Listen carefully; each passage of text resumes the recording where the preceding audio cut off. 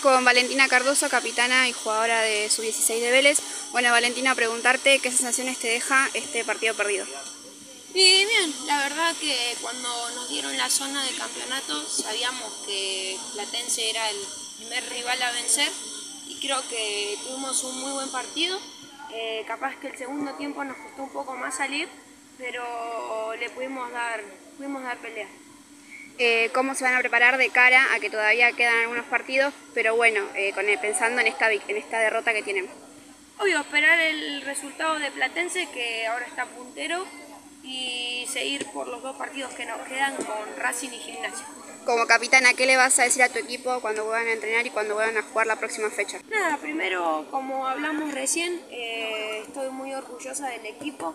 Creo que nada, ninguna se guardó nada y nada, muy contenta y a prepararnos para lo que viene.